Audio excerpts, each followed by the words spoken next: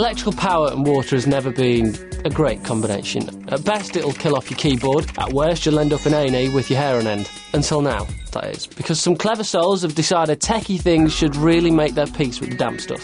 First up, the Dolphin waterproof MP3 player. Yes, like your iPod, but with less of that hazard symbol when you take it to the swimming pool. This flipping monster loves the municipal. It's practically waking you up in the mornings with a pair of water wings on. The player and the earphones are happy in the pool, the spa, and even messing around with water sports. It'll even clip on your goggles to make things easier for you. It works off a rechargeable battery with up to 2 gig in memory and a massive 8 hours playing time. And if you can swim more than that, you might not belong to the Homo sapien category. The sets cost from £69.99 and are available from amp3.co.uk. But maybe doing a couple of lengths with some tunes isn't enough for you. Maybe your chlorinated eyes are also itching for stimulation. Enter the new Universe waterproof wireless display, a 15.4 widescreen LCD, which is, yes, completely waterproof, and yes, completely wireless. You can take it swimming, splash around making smoothies in the kitchen, watch telly in the rain, or serenade it with scented candles and bubble bath. It's also dust proof, so you can DIY it to the max, or